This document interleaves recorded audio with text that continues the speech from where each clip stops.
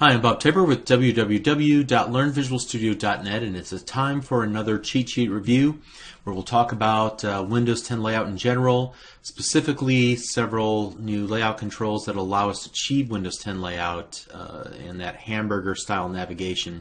And then finally, we talked about controls as well. So let's open up our cheat sheet and then let's scroll to the bottom here and we'll start with lesson number 17 where we talked about the relative panel. We said that the relative panel allows you to define an area where all the controls inside can either align themselves relative to the panel itself or relative to the other controls. And we said that the controls would use attached properties uh, to tell the uh, layout engine where they want to be positioned in relation to. And we said that there's different types of properties that can be set. Uh, and they're applied in a certain order. So first you have panel alignment relationships like align the top of my control with the panel, align the left of my control with the panel. And these are applied first. The next grouping are sibling, sibling alignment relationships. They allow you to align top with relative to another control or left with another control. And then finally, applied last are the sibling positional relationships. So uh, for this given control, put it in such a position where it's above or below or to the left or right of another given control. All right, so I have a quick little example here that uh, you can use as a form of cheat sheet where we have a relative panel and two rectangles and the first rectangle it, it sets its attached property align right with panel equals true so it'll always be to the right of the panel and then we say uh, to the second rectangle that it will be relative to left of the red rectangle. Okay. All right, next up we talked about the split panel, and we said that use the split panel to create a panel that can be displayed or hidden, and it's used for that hamburger style navigation. And we said that uh, it's basically two main pieces of the puzzle there. There is the part that's hidden, that comes and shows itself and hides itself. That's the pane. And then there's the part that is actually beneath it or to the right of it, and that is the content. So let me go ahead and copy and paste a little example into the window here. And uh, it looks like I need a little formatting. And so one of the things that we can do is change the display mode. Uh, and the display mode will dictate the behavior of the pane and uh, the content area, which are defined uh, below it here. And so let me just go ahead and copy and paste in the different display modes. So there's inline, compact inline, overlay, and compact overlay. So inline is where the panel is completely covering the content, and when it's shown, it'll actually push the content out, uh, push it uh, so that it's still visible. Compact inline is almost identical, except it will show a little sliver of, uh, and if you have it docked to the left, of the left-hand side, so it'll show those icons on the left. Overlay will do the same thing as inline. It'll completely cover the the, uh, the the pane will be completely hidden, and when it's shown, it will completely cover the content. Uh, compact overlay will let a little area peek out, and then whenever it's expanded, then it will completely cover what's on, ever underneath it. Okay, and so I also gave a little C sharp code snippet that allows you to basically show and hide the pane. Whatever its current state is, do the opposite and set it equal to the is pane open property. Okay. Next up, we talked about uh, working with navigation, and let's see, let's give you a couple things here. All right, first up, we said that uh, the at the highest level of our application is the app. An app owns a window, and inside the window is a frame. And we see all this set up for us in the app.xaml.cs. Um, and then the frame will load in the main page. Now you don't have to do it that way, but that is what the blank app template will give you. And so then you can either load new pages into that that root frame, or you can add other frames into your XAML pages and then load content in and out of that. And we demonstrated that by creating a frame inside of the main page and then loading page one, page two, page three inside of that frame. So the way that we navigate, uh, there's a frame property on the page that'll give you access to the parent frame and you just call its navigate method. You pass in the type that you want to create a new instance of. And you can also optionally pass in any additional parameters of any type. Then you can retrieve whatever was passed in from the previous page by over, a specific method called OnNavigatedTo. And we can retrieve the value of the parameter that was passed in uh, by calling the navigation event args e dot parameter and then casting it to whatever the object type is that you passed in. And then you can work with it in any way that you like. We also talked about uh, the backstack and how it essentially keeps the history uh, as you move forward and backwards, and it will replay that navigation event. And uh, we showed that you can traverse uh, the backstack by checking if the frame can go back or if it can go forward. And if it can, then you can call go back and go forward methods. And then finally, I demonstrated in that video how you can create kind of a global video, uh, global variable at the app level by declaring a static internal field in the app class definition.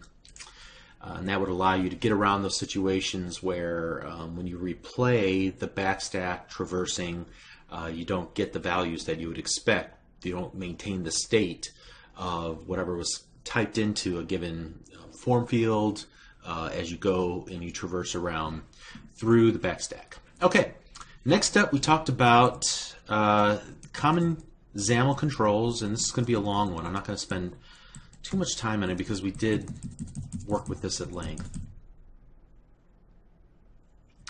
So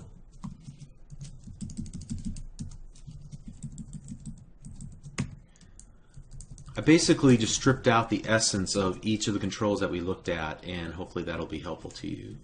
So let me go ahead and paste in the first chunk here. All right, so lesson number 20, Common XAML Controls Part 1. We looked at the checkbox. Uh, we saw that there was a checked property, uh, although it's not represented here, we are able to access it programmatically in C Sharp in this line of code. And uh, it also supports a tapped event we can handle that tapped event and then display you know some result there. Similar to the checkbox, the yes or no, true or false checkbox is a radio button that allows you to uh, provide several different options to the user. And here you need to use a group name to group together multiple radio buttons that belong in the same group. Uh, so uh, you can see that in this case I was able to handle the checked event and in that checked event, I implemented this uh, ternary operator where I'm just checking to see if the radio button is checked. If it is, then we'll just print out yes. If it's not, then we'll print out no. You might need to do some variation on that. Also, I didn't mention this at the time, but is checked is a nullable bool. So you have to cast it to Boolean in order to get the ternary operator to work. I should have mentioned that before. Just came to me now. Alrighty, uh, next up we talked about the combo box, which allows you to add a number of different combo box items to a list, a drop-down list. So when somebody clicks the arrow, they can see all of the items that were in the list. You can set an is selected to a default value. Uh, so in this case, when we load up the XAML page, the sixth option will be displayed in the combo box.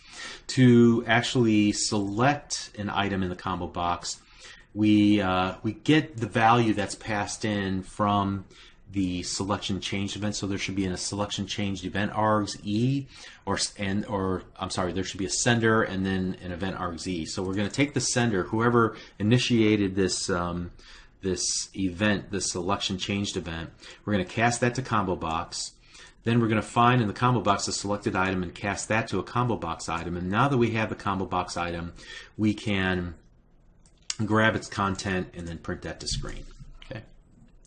Next up, and this was an important one, the list box. And the list box is important because we were able to use it in the next video where we actually were creating uh, a more full hamburger example. So here we create a number of list box items with content inside of them. We set the selection mode both to multiple and single. When multiple, you can make sure you can select multiple list items. and in single you can only select one. And since you can select multiples, I have this little LINQ statement that allows us to find all of the list box items that were selected, grab out just the content and put, it put them in an array, and then use string.join for that array and concatenate them all together with a comma. And then the next thing we talked about was the image control. And you want to set the source attribute and the stretch attribute. We talked about the different stretch options about none, fill, uniform to fill, and stretch. Next up, we talked about the toggle button and how to retrieve its value. Um, the toggle button has a IsThreeState, and remember uh, the three states were clicked, unclicked, and then I guess you could say selected where it was turned on. And so whenever it's clicked, we can evaluate the current value of is checked, either true, false, or null. Finally, we talked about the toggle switch, and that would allow us to define uh, some content for the on content and the off content. So when you flip on the switch, you can show this content, whatever's here. In this case, we just put a text box. Uh, when the user switches it off, then it would display the other section here underneath uh, toggle switch.off content. Okay. All right, so that was a whirlwind uh, review, but let's continue on. Uh, we talked next about implementing a simple hamburger navigation menu, and I pointed you to Jerry Nixon's example for a more full-featured example, uh, and I demonstrated my example in the most simplest way possible by using a split view and a list box control. At any rate, one of the things that we needed to do was actually to grab off a um, some icons in the Segoe MDL5 assets font, and I showed you how to use the character map app to find the fonts that you want to use, and then you prefix and suffix whatever the value is you find with a ampersand pound lowercase x, and then suffix it with a semicolon. All right, and then finally, and I'm not going to write out a lot of this, you can always find this code example. You can use listbox and listbox items for the navigation links inside of a split view. And that's what we did in that example. And that technique is going to come in handy in the very next video because you're challenged to create a more full-featured um, navigation, uh, hamburger navigation style with the, search bar and all that stuff.